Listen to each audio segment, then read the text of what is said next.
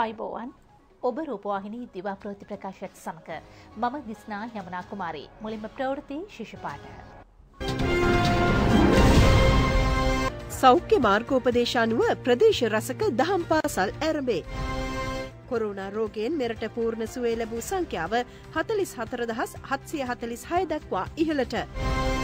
නොවේහි corona එන්නත් ලබාගත් විසිතුන් දෙනෙකු ජීවිතක්ෂයට. පොදුජන පෙරමුණේ ආසන බලමණ්ඩල රැස්වීම් දිවයින පුරා.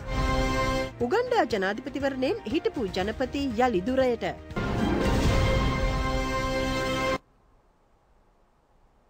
මුලින්ම දේශය පුවත්. බස්නාහිර පලාත සහ හුදකලා කර ඇති ප්‍රදේශවල හැර අනිකුත් ප්‍රදේශවල දහම් පාසල් අද සිට යළි ආරම්භ කෙරුණා. ඒ සෞඛ්‍ය මාර්ගෝපදේශවලට අනුකූලවයි. ඒ අනුව බෞද්ධ හින්දු කතෝලික හා ඉස්ලාම් දහම් පාසල්වල අධ්‍යයන කටයුතු අද සිට ක්‍රියාත්මකයි. කොරෝනා දෙවැනි රැලින් පසුව වසා දැමුණු දහම් පාසල් යළි ආරම්භ කෙරුණේ මාස කිහිපයකට පසුවයි. ඉකුත් සදුදා මෙම වසරේ පළමු පාසල් වාරයේද ආරම්භ කෙරුණා.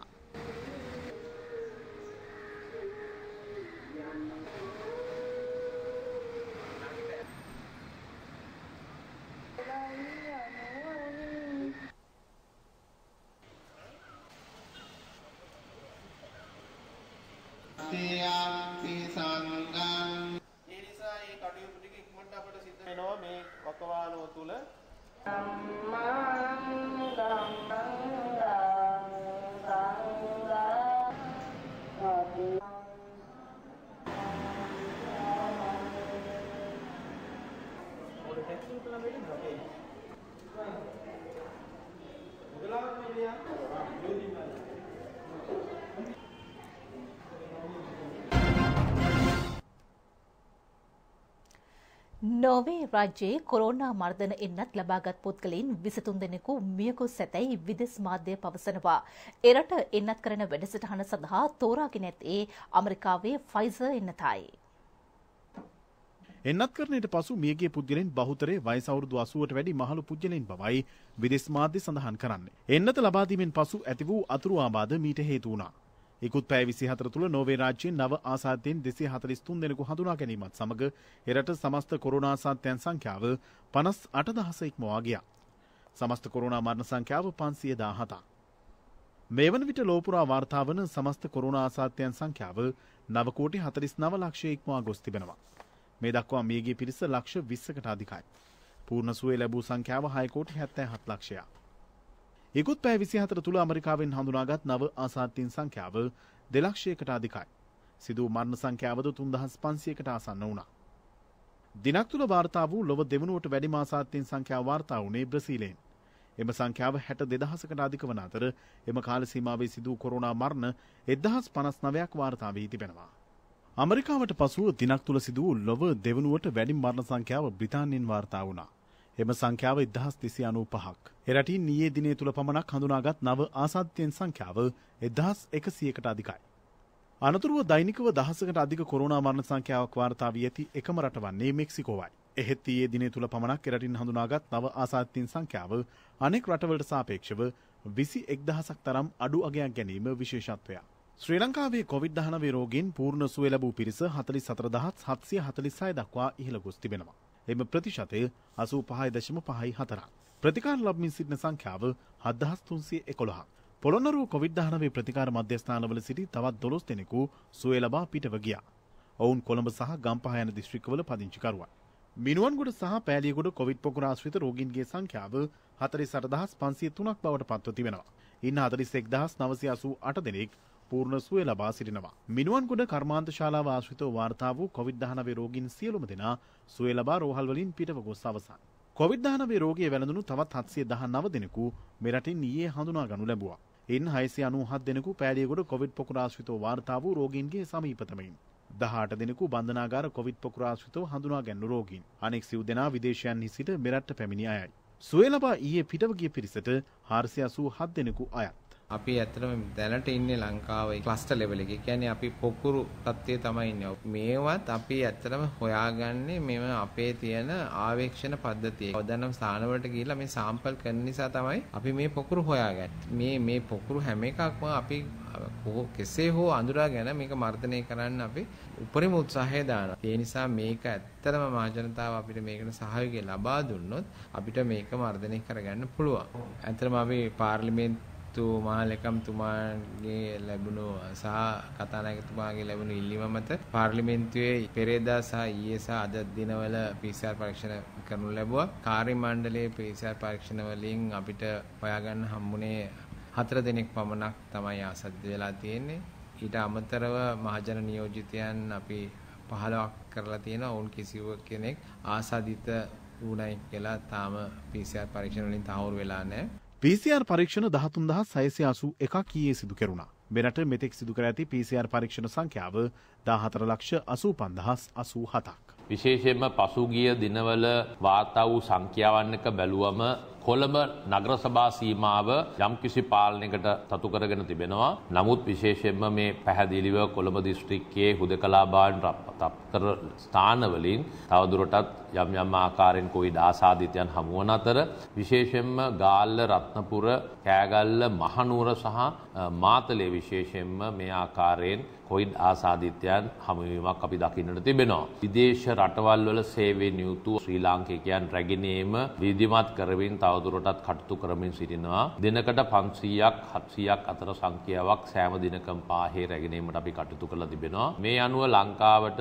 මේ වෙනකොට 73000කට ආසන්න ශ්‍රී ලාංකිකයන් පිරිසක් විදේශ රටවල් වලින් රැගෙනීමට අපි කටයුතු කරලා තිබෙනවා. කොවිD-19 තවත් පුද්ගල මරණයක් ඊයේ මෙරටින් වාර්තා වුණා. ඇතුල්කෝටේ ප්‍රදේශයේ පදිංචි අසූ දෙවැරදි කාන්තාවක් මෙලෙස මරණයට පත්ව තිබෙනවා. කොවිD-19 වසංගතය හේතුවෙන් තාවකාලිකව වසා තැබුණු වවුනියා ප්‍රදේශයේ පාසල් හතක් හෙට යළි විවෘත කෙරෙනවා. තාවකාලිකව වසා තිබුණු වෙළන්සැල් සහ අවදානම් ප්‍රදේශ කිහිපයක් හැරෙන්නට සංචන්න සීමා පනවා තිබූ අනෙකුත් ප්‍රදේශයන්ද හෙට සිට යළි විවෘත කරන බවයි වවුනියාව දිස්ත්‍රික් ලේකම් ටීඑම් සමන් බන්දුරසේන මහතා පවසන්නේ. ඉඳුරුව තුන්දුව නැගෙනහිර සහ තුන්දුව බටහිර යන ග්‍රාම නිලධාරී වසම්වල හුදකලා බව අද උදේ සිට ඉවත් කරනු ලැබුවා. මීට අමතරෝ බේරුවල ග්‍රාම නිලධාරී වසම් 9ක්, පානදුර ග්‍රාම නිලධාරී වසම් 1ක් සහ කළුතර ග්‍රාම නිලධාරී වසම් 10ක් හුදකලා භාවයෙන් ඉවත් කිරීමට කටයුතු කරනු ලැබුවා. අද උදේ හයෙන් අවසන් වූ පැය විසි හතර තුළ සෞඛ්‍ය ආරක්ෂිත ක්‍රමවේද නොසලකා හැර සිටි බස්නාහිර පලාතෙන් පිටත ප්‍රදේශවල විසි නව දෙනෙකු අත්අඩංගුවරගෙන තිබෙනවා. ඒ සම්බන්ධයෙන් මෙතෙක් අත්අඩංගුවරගෙන ඇති සංඛ්‍යාව දෙදහස් පන්සිය හැත්තෑ අටක්. අද දිනේත් ඒ වගේම හෙටින් පටන් ගන්න සතිය තුලත් විශේෂයෙන්ම පොලිස් පරිසර කොට්ටාශයත් ඒ වගේම සෞඛ්‍යාංශත් සමග රාජ්‍ය රාජ්‍ය නොවන ආයතනවල ඒ වගේම වෙළඳ සංකීර්ණ ආශ්‍රිතව සෞඛ්‍ය පුරුදුවලට අනුගතව කටයුතු කරන්නේ දැයි සොයා බැලීමට විශේෂ වැඩපිළිවෙලක් ක්‍රියාත්මක කරනු ලබනවා. විශේෂයෙන්ම හෙට දිනේත් නිරෝධායන රීතීන් සම්බන්ධයෙන් විවිධ ආකාරයේ විමර්ශන ඒ වගේම මෙහෙයුම් ක්‍රියාත්මක කිරීමට ශ්‍රී ලංකා පොලිසිය බලාපොරොත්තු වෙනවා. ප්‍රධාන වශයෙන්ම බස්නාහිර පළාතේ විවිධ ස්ථාන ආශ්‍රිතව රැපිඩ් ඇන්ටිජන් පරීක්ෂාව සිදු කිරීම, පාසල් ළමුන් ප්‍රවාහනය කරන වෑන් රථ, බස් රථ ආශ්‍රිතවත් ඒවායේ රියදුරන් සහ සහායකින් ආශ්‍රිත සහිතවත් රැපිඩ් ඇන්ටිජන් පරීක්ෂාව සිදු කිරීමට නියමිතව තිබෙනවා. එමෙන්ම මාළු ලෑලි, එළවලු ලෑලි වෙනත් වෙළඳ කටයුතු සිදු කරන ස්ථාන ආශ්‍රිතවත් මේ ආකාරයට පරීක්ෂණ සිදු කරනවා. ඒ වගේම පාසල් වෑන් රථ නිරන්තර පරීක්ෂාවට ලක් කරනු ලබනවා. විශේෂයෙන්ම මේ සියලු ක්‍රියා සිදු කරනු ලබන්නේ ඔබේ යහපතට, රටේ යහපතට, ඒ වගේම මේ වසංගතය පාලනය කර ගැනීමට ඒ සඳහා ඔබගේ උපරිම සහාය ලබා දෙනු ඇතයි අපි අපේක්ෂා කරනවා. ගම කෘෂිකර්මය පදනම් කරගත් ආර්ථික වැඩපිළිවෙලක් ඔස්සේ රට සංවර්ධනය කිරීමට බලාපොරොත්තු වන බව අමාත්‍ය කෙහෙලි රබුකැල මහතා පවසනවා. මහනුවර මැදදුම්බර පැවති හමුවකින් අනතුරුව මාධ්‍යට අදහස් දක්වමින් ඔහු මේ බව කියා සිටියා. මැදතුම්බර ප්‍රාදේශීය සභාවේ ප්‍රතිපාදනය යටතේ ඉදිකළ වෙඩරුව වෙල පහළ ප්‍රජාශාලාව අමාත්‍ය කෙහෙලිය රබුකැල මහතා අතින් ඊයේ ජනතා අයිතියට පත් කරුණා. වැය කරන මුදල රුපියල් ලක්ෂ 25ක්. අස්කරි පාර්ශවයේ අනුනායක පූජ්‍ය වෙඩරුවේ උපාලිනා හිමියන්ද මේ අවස්ථාවට එක්ව සිටියා. ජෙයින්ගර බෙහෙත් එක ලබා දෙන්න පුළුවන් වුණා අපේ තැපැල් දෙපාර්තමේන්තුවට. ලෝකෙම ආදර්ශයක් විශේෂ වැඩ පිළිවෙලක් හැටියට ක්‍රියාත්මක වෙනවා දැන් ඉදිරියට. ලෝකේ යනවා කෑෂ් ෆන්ඩ් ඩිලිවරි කියලා. එහෙනම් මුදල් ලබා ගත්තාම බාණ්ඩ ලබා ගන්න ඊ තාක්ෂණය යටතේ. පැය වැඩපිළිවෙල ආරම්භ කරලා තියෙනවා. බ්‍රෝඩ්බෑන්ඩ් වැඩපිළිවෙල ආරම්භ කරන්න බලාපොරොත්තු වෙනවා ලංකාවම ආවරණය වෙන්න. ඒක ජනාධිපතිතුමාගේ හීනයක්. ඒක කළ යුතුයි කියලා බාර දීලා තියෙනවා. දැන් ලබන අවුරුද්දේ පළවෙනි කාර්තුව අවසානය වෙන මුළු ලංකාවම ආවරණය වෙන විදිහට ඒ වැඩපිළිවෙල කරන්න අපි බලාපොරොත්තු වෙනවා. මම බොහොම අවංකව කියන්නේ මේ රජය අපි දකිනවා වැඩක් කරන්නට පුළුවන් තැනකට මේ රට තල්ලු වෙමින් යනවා. අපහසුකම් මැද්ද. ඒ ප්‍රමුඛත්ව අමතක කරන්නේ ගම කෘෂිකර්මය රටේ ආර්ථික වැඩපිළිවෙලට දායකත්වයක් ලබලා දීලා ඒ හරහා රට ගොඩනැගීමේ වැඩපිළිවෙල අපි ඉදිරියට ගෙනියන. අපිට ඒ ආත්ම විශ්වාසය තියෙනවා. දෙහිඅත්ත කණ්ඩිය ප්‍රදේශයේ ඉදිකරනු මහවැලි හෙළබොජුන් හල සහ නිෂ්පාදන අලු විසැල ඊයේ ජනතා අයිතියට පත් කරනු ලැබුවේ අමාත්‍ය චමල් රාජපක්ෂ මහතා විසින්. මෙම පරිශ්‍රයේ හරිත උද්‍යානයක්ද පිහිටා තිබෙනවා. මහවැලි ගොවින්ගේ අස්වැන්නෙන් මිලදීගත් නැවුම් හා වස විසෙන් තොර ගුණින්නතු දේශීය ආහාර ජනතාවට ලබා දීම ව්‍යාපෘතිය අරමුණයි. ප්‍රමුඛත්වය ලබා දී ඇත්තේ මහවැලි සීකලපිය ව්‍යවසායකින්ගේ නිෂ්පාදනවලටයි. ව්‍යාපෘතියට මූල්‍ය ප්‍රතිපාදන සැපවුවේ ශ්‍රී ලංකා මහවැලි අධිකාරියයි. රාජ්‍ය මාත්‍යවරුන් වන සිරිපල ගම්ලත් හා තේනුක විධානගමගේ යන මහතුරුන් ඇතුළු පිරිසක්ද මේ අවස්ථාවට එක්ව සිටියා. දෙහිවල මහනගර සභාවටයත් සිරිසේන දහනායක ක්‍රීඩංගනී පිහිටුවා ඇති පුස්තකාලයේ ස්ථාපනය කෙරුණු ඊ සෙරිසර විද්‍යුත් පුස්තකාලය අමාත්‍ය රිය අද්මිරාල් සරත් වීරසේකර මහතා අතින් ඊයේ e. ජනතා අයිතියට පත් කෙරුණා. වැය කරන මුදල රුපියල් ලක්ෂ 10ක්. ඊ පාඨක සමාජයක් බිහි කිරීම මෙහි අරමුණයි. දෙහිවල ගල්කිස්ස නගරාධිපති ස්ටැන්ලි ඩයස් මහතා ඇතුළු මහජන නියෝජිතයන් පිරිසක් මේ අවස්ථාවට එක්ව සිටියා. නාතන්ඩිය ප්‍රදේශයේ හැමිල්ටන් ඇල හරහා ඉදිකරන පාලමේ ඉදිකිරීම් කඩනම් කර තිබෙනවා. මැද නාතන්ඩිය හා ගඩොල් ගොඩවත්ත ගම්මාන යා කරමිනුයි පාලම ඉදිකර ඇත්තේ. වැය කරන මුදල රුපියල් මිලියන 33ක්.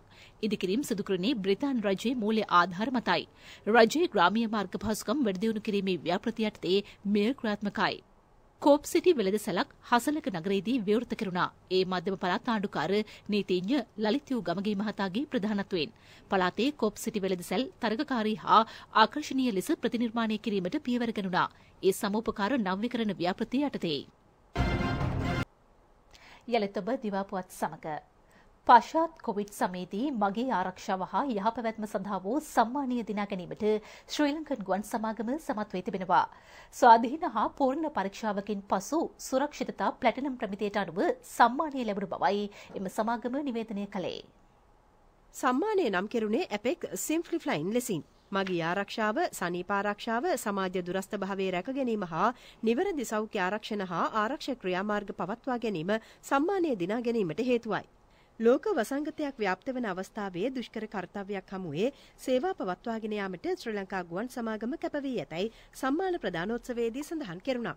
ශ්‍රී ලංකාවේ දේශසීමා ජාත්‍යන්තර සංචාරණ හා සංචාර කටයුතු සඳහා යළි විවෘත වන මොහොතක ප්ලැටිනම් ස්ටෑන්ඩඩ් තත්ත්වයේ සම්මානය ලැබීම මෙරට සංචාරක ව්‍යාපාරයේ දිරිගැන්වීමට හේතුවක් බව ශ්‍රී ලංකන් ගුවන් සමාගමේ සභාපති අශෝක් පතිරගේ මහතා පවසනවා.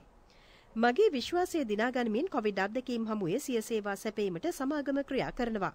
ඇපෙක්සි ප්‍රධාන විධායක නිලධාරිය ආචාර්ය ජෝ ලීඩ මහතා කියා සිටියේ ශ්‍රී ලංකන් ගුවන් සේවා සමාගම කොවිඩ් 19 වසංගතය හමුවේ පාරිභෝගික ආරක්ෂාව සඳහා ගෙන ඇති පියවර විශ්මිත බවයි. ඒ අනුව දකුණු ආසියාවේ ඉහළම ශ්‍රේණිගත කිරීම ලෙස ගුවන් සේවය ඉහළට පැමිණ තිබෙන බවයි ඔහුගේ අදහස. ලෝක සෞඛ්‍ය සංවිධානය නිර්දේශ කළ මාර්ගෝපදේශ අනුගමනය කිරීම හා ඒවා ක්‍රියාත්මක කිරීමට වග බලා ගැනීම ශ්‍රී ලංකන් ගුවන් සමාගමේ අරමුණයි. ශ්‍රී ලංකා පොදුජන පෙරමුණේ ආසන බලමණ්ඩල රැස්වීම් රැසක් ඊයේ පැවැතුණා.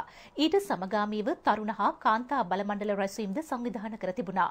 සිව්තිස්ස සුරැකී සිව් වසර මෙහි තේමාවයි. සියලු රැස්වීම් සංවිධානය කර තිබුණේ සෞඛ්‍ය ආරක්ෂිත ක්‍රමවේදයන්ට අනුකූලවයි. ශ්‍රී ලංකා පොදුජන පෙරමුණේ මාතර ආසන බලමණ්ඩල රැස්වීම ඊයේ පැවැත්වුණා. ඒ අමාත්‍ය චමල් රාජපක්ෂ මහතාගේ ප්‍රධානත්වයෙන්.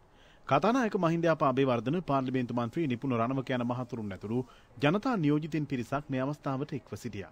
අභියෝග මැද්දේ අපේ ජනාධිපතිතුමා ගෝඨාභය මැතිතුමා දැන් හිටපු සියලුම ජනාධිපතිවරුන්ට වඩා ආදර්ශමත් විදිහට තමයි වැඩ ආරම්භ කරලා තියෙන්නේ. එතුමා නිල නිවාසයට ගියේ නෑ. ඒ වගේම එතුමා සාමාන්‍යයෙන් ජනාධිපතිවරයෙක් යනකොට වාහන 10ක් 15ක් යනවා. අද වාහන 3කට හෝ දෙකකට සීමා වෙලා තියෙනවා. ඒ වගේම ආරක්ෂාවට 4000ක් හිටියා. දැන් අද එතුමාට මම හිතන්නේ 200ක්වත් නෑ. පොලිසියෙන් සහ හමුදාවෙන්. ඒ ආදර්ශයත් එතනින් ජනතාවට තිබිච්ච ව්‍යාපාර විශාල වශයෙන් අඩු වෙලා තියෙනවා. ඒ වගේම අද රටට තිබෙන ආදායම් මාර්ග ඇන හිටලා තියෙනවා. රටේ මුදල් පිටරට ඇදී ගියා. මේවා නැවැත්වීම සඳහා එතුමා ඉදිතර තීන්දුව තීරණ ගත්තා. ආනයනය තහනම් කරපු නිසා අද හැමෝම මගා කිරීමට එළඹිලා තියෙනවා. නිසා අපට අද විශාල මුදලක් ඉතුරු කරගන්න නැහැක් වෙච්ච නිසා රටේ අනිකුත් වැඩ සඳහා මේ මුදල් යොදවන්න පුළුවන්කම ලැබෙනවා. මේ වසරක කාල සීමාව තුළ ජනාධිපතිවරයාපත් වෙලා මම හිතනවා අපිට മന്ത്രിවරු විදියට අපේ හැම වසමකම ගෙයක් හැදෙද්දී අපේ පාරවල් ටික හැදෙද්දී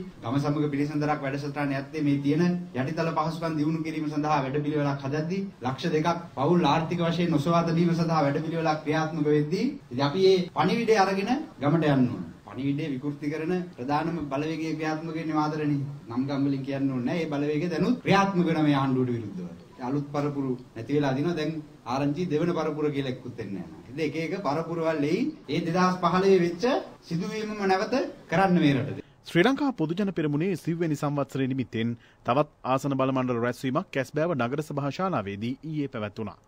එය අමාත්‍ය ගාමිණී ලොග්ගේ මහතාගේ ප්‍රධානත්වයෙන්. දැන් මේ කොරෝනා රෝගේ බලන්න ඉන්දියාවේ දසදහස් ගණන් කොරෝනා රෝගී. ගෝඨාභය රාජපක්ෂ මැතිතුමා මේක හරියට කළමනාකරණය කරන නිසා අද 50000ක් ආවත් අපි 43000ක් සනීප වෙලා ගිහිල්ලා 6000ක් තමයි රෝගීන් නැගිටින්නේ. දැන් අපි පාසල් 28 වෙනිදා වෙනකොට මං හිතන්නේ 11 වෙනි වසරට කොහෙද අරින්න යනවා? රට දුවන්න ඕනේ. රට දුවන්න නැතුව මේ කටයුතු එකක්වත් කරන්න බෑ. මොන ප්‍රශ්න තිබුණත් මේ රට දුවනවා. වාහන නැහැ. අපනයන භාණ්ඩයේ විදිහටම යනවා. ව්‍යාපාරයේ විදිහටම යනවා. නුත් අපි කොරෝනා රෝගයෙන් ආරක්ෂා වෙලා යන්න ඕනේ. සෞඛ්‍ය සිරිත්‍රිත් ආරක්ෂා කරන්න ඕනේ. ශ්‍රී ලංකා පොදුජන පෙරමුණේ මොරටුව කාන්තා බල මණ්ඩල රැස්වීමද ඊයේ පැවැත්වුණා. ඒ මොරටුව නගරාධිපති සමන්ලාල් ප්‍රනාන්දු මහතාගේ ප්‍රධානත්වයෙන්. මම හැමදාම කියන්නේ මේ රටේ දැනට ඉන්න ඇවිදින පරිගණකයක් තියෙනවා නම් ඒ ඇවිදින පරිගණක බැසිල් රෝණ රාජපක්ෂ මැතිතුමා කියලා. ඒ වගේම ආකර්ෂණීයකමක් තියෙනවා නම් ලෝකේ ජනනායකයෙකුට ඒ මහින්ද රාජපක්ෂ විතරයි. හැම දෙයක් කෙලින් කරන්න, හරියට කරන්න, නිවර්දිව කරන්න නායකයෙක් ඉන්නවා නම් ඒ ගෝඨාභය රාජපක්ෂ විතරයි. මේ තුනම සන්නද්ධ වෙච්ච එකම දේශපාලන පක්ෂය ලෝකෙම තියෙනවා නම් ඒ ශ්‍රී ලංකා පොදුජන පෙරමුණ විතරයි කියන එකත් අපි මතක් කරන්නට ඕන. ශ්‍රී ලංකා පොදුජන පෙරමුණේ කොළොන්නාව ආසන තරුණ පෙරමුණේ හමුවක්ද ඊයේ පැවැත්වුණා. ඒ ශ්‍රී ලංකා පොදුජන පෙරමුණ කොළොන්නාව ආසන කාර්යාලයේදී. පක්ෂයේ කොළොන්නාව ආසන සංවිධායක අජිත් සුබසිංහ මහතාගේ ප්‍රධානත්වයෙන් හමුව සංවිධාන කෙරුණා. ඒ සමගින් රූපවාහිනී දිවා ප්‍රතිප්‍රකාශය නිමවට පත්වනවා. ආයිබෝවන්